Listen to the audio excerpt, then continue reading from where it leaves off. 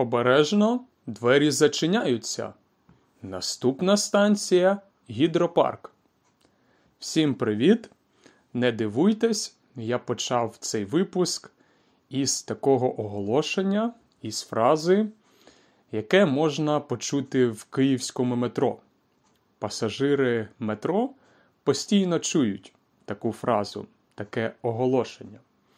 Якщо ви будете в Києві, якщо ви будете їхати на метро, то ви теж будете постійно чути обережно, двері зачиняються. Наступна станція Золоті ворота. Отже, сьогодні давайте поговоримо про метро. Мені подобається цей вид транспорту, це швидкий і зручний вид транспорту. Як ви знаєте, зазвичай метро е, їздить під землею. Е, у Києві теж більшість станцій метро є підземними, тобто вони знаходяться під землею. Але також є е, кілька станцій, частина станцій, які не є під землею, а вони є наземними. І сьогодні я хотів поговорити про кілька таких станцій. Про станцію Гідропарк, наприклад. Почнемо е, із цієї станції. Отже, станція Гідропарк вона є наземною станцією, і ви знаєте, вона довгий час не працювала.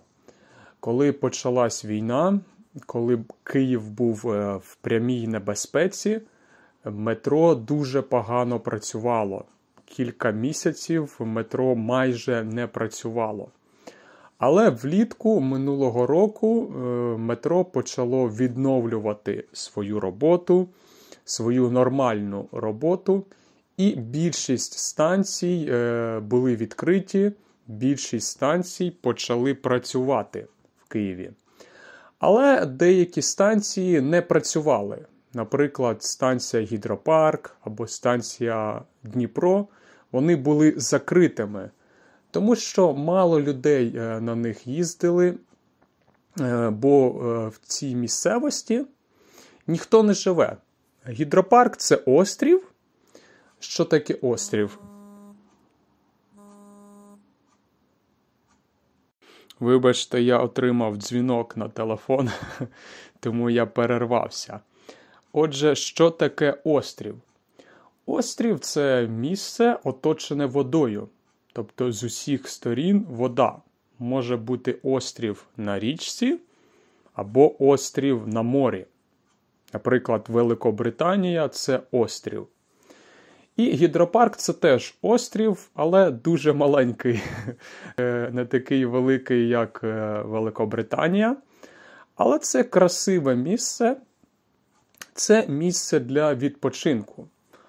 Е, там є багато пляжів, оскільки посеред... він знаходиться посередині річки, тому люди туди їздять на пляж переважно.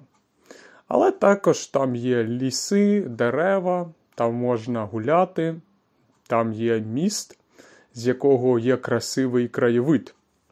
Можете подивитись фотографію в інстаграмі або на Ютубі.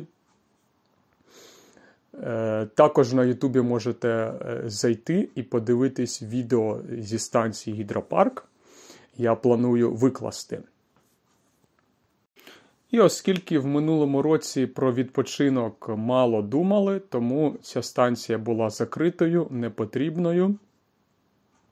Але е, в цьому році, 1 квітня, станція Гідропарк була знову відкрита. Тобто це показує, що місто потроху оновлюється, місто повертається до нормального життя. І є ще одна цікава станція, вона називається Дніпро.